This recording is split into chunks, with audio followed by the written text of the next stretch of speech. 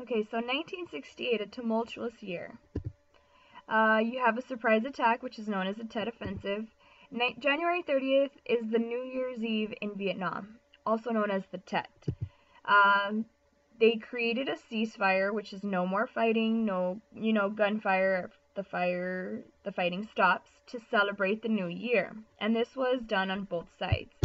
Now, the Tet Offensive was a surprise attack of the Viet Cong against South Vietnam. Now, they took advantage that they weren't expecting this to happen, and it was a surprise attack, and it was all recorded.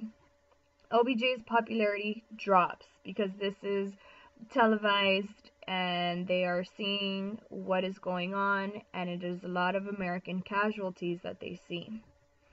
And here are all the places where they were attacked. Um, United States bases are the ones in white squares, and of course, you can see how most of those military bases were attacked. Okay, so LBJ's popularity has dropped. January, uh, February 1968, most Americans were against the war. Now, Roy Benavidez, he carried wounded members of his platoon to rescue helicopters. Uh, he was critically wounded but refused to stop, kind of like Forrest Gump that we see in the movie, right? Um, but he was a real life person. He saved eight lives and he received the Medal of Honor in 1981. And he died in San Antonio in 1998. So that's Roy Benavidez. Okay. Now, the war under President Nixon.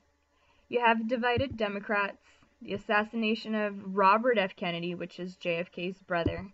Um, he was killed in a hotel kitchen. Violence at Democratic National Convention. Richard M. Nixon, a Republican, becomes president. Right? Richard M. Nixon. He becomes president now. Now, his campaign is anti communist, of course.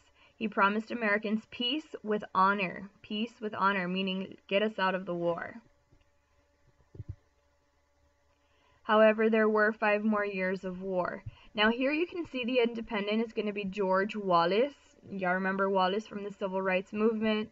Um, he's one of the uh, governors who decided to stand in the front of the schools, right, to keep uh, blacks from integrating in the school system.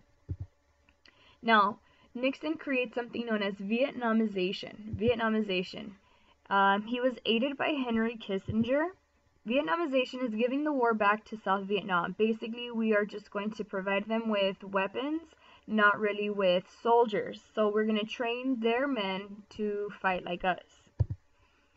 We increased bombing, diplomacy, which is us coming to agreements with South Vietnam, uh, the silent majority, and the My Lai massacre.